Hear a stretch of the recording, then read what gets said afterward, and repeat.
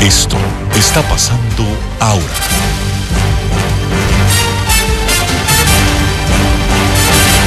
Hola, ¿qué tal? Soy Jim Suriel con una información en desarrollo. El Partido de la Liberación Dominicana y los demás integrantes del bloque progresista acudieron esta tarde a la Junta Central Electoral para brindarle su apoyo a esa entidad comicial. Ahora, en este momento, están ofreciendo sus declaraciones. Vamos a escuchar.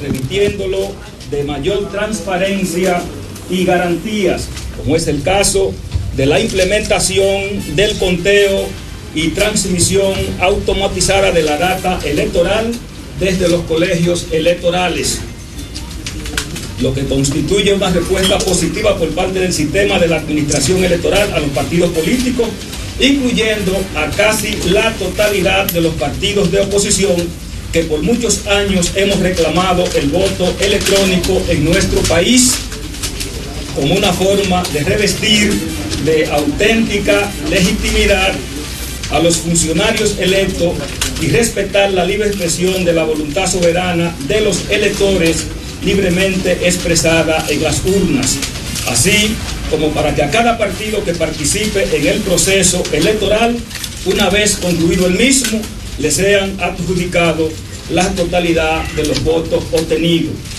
De igual manera respaldamos las últimas resoluciones que ha aprobado esa prestigiosa institución en el sentido de complementar el sistema de automatización, de automatización con otras medidas alternativas reclamadas por sectores políticos para proveer mayores niveles de garantía y transparencia al proceso electoral. Gracias. Díganos su nombre, por favor. Manuel Sotolara, en representación de los partidos que he mencionado. Soy el delegado político del bloque institucional socialdemócrata, uno de los partidos que junto a más de 20 partidos políticos reconocidos ha venido por años reclamando de la Junta Central Electoral la, el voto electrónico como una forma de blindar el proceso electoral con todas las garantías de que está siendo provisto en la actualidad. O sea, hemos venido aquí a defender algo por lo que hemos luchado mucho los partidos fundamentalmente, lo que no podemos mandar delegados a los colegios electorales. Al señor Reinaldo Pared Pérez nos gustaría escuchar ahora. No, es el que dicen que el PLD está promoviendo la violación de la ley electoral e incidiendo en el conteo Él es el vocero electrónico. escogido El a una PRM dice que defenderá con uña y diente el voto. ¿Qué le parece a usted, secretario? Nosotros venimos aquí a defender el voto a uña y diente primero que ellos.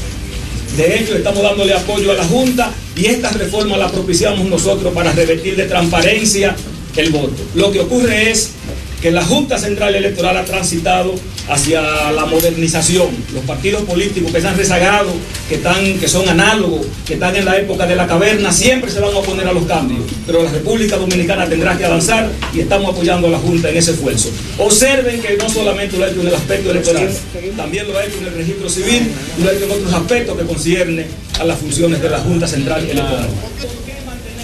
Ahí estuvimos escuchando las declaraciones de Manuel Soto Lara, representante del bloque progresista, que esta tarde acudió a la Junta Central Electoral para ofrecer su apoyo al voto electrónico. Anteriormente lo había hecho también eh, al menos una representación de la oposición, seis candidatos a la presidencia de los partidos de oposición. También acudieron hoy a la Junta Central Electoral para pedir, para solicitar que el voto eh, manual, el voto eh, sea eh, elevado a los tres niveles, tanto la presidencial como la congresual y también la municipal. Más adelante vamos a tener todas las informaciones en nuestra próxima emisión informativa. Mantenga la sintonía con NCDN.